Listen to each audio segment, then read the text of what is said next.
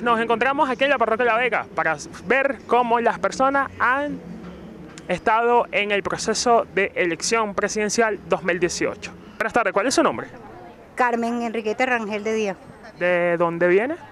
del barrio El Carmen. ¿Cuál es la importancia del día de hoy sobre las elecciones presidenciales que se realiza este día? Bueno, la importancia es, mira, que queremos eh, este, cosas buenas, que se lleve todo como tiene que ser y bueno, y mejoras para el país. ¿Cuál es su nombre? Eni Castillo, de aquí de la parroquia La Vega. Este, estamos, somos de la organización Ali Gómez García, del Frente Ali Gómez García, de Viviendo del Carmen. Y nuestro compromiso aquí en- con mis mujeres y mis hombres, las familias que están necesitadas aquí en la parroquia La Vega, es el voto, garantizar el 1 por 10, garantizar el 1 por 60, garantizar el voto.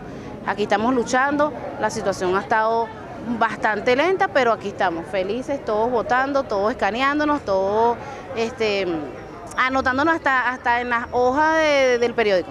¿Cuál es su nombre y de dónde viene? Aurelis Piñero, de, la, de aquí de La Vega.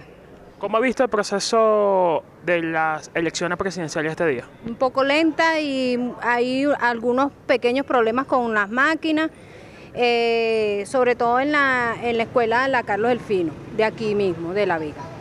¿Cuál es el compromiso sobre estas elecciones presidenciales para el pueblo? Que salgan a votar, salgan a votar porque si no, no se quejen después. O sea, salgan a votar. Nos encontramos aquí en la institución eh, Casa Alternativa, que aquí se clase de la Misión Rivas. Vamos a entrevistar cómo ha sido el proceso el día de hoy sobre estas elecciones presidenciales 2018. ¿Cuál ha sido el compromiso el día de hoy eh, para estas elecciones presidenciales?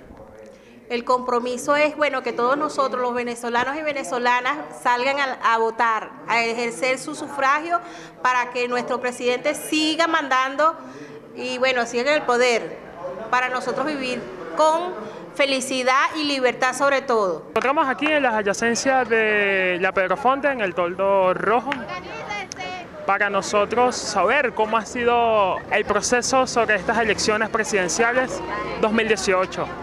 Así que esto todavía no ha terminado, esto todavía pica y se extiende. Así que esto es Katia TV. Reportó para ustedes Félix Rodríguez. Vamos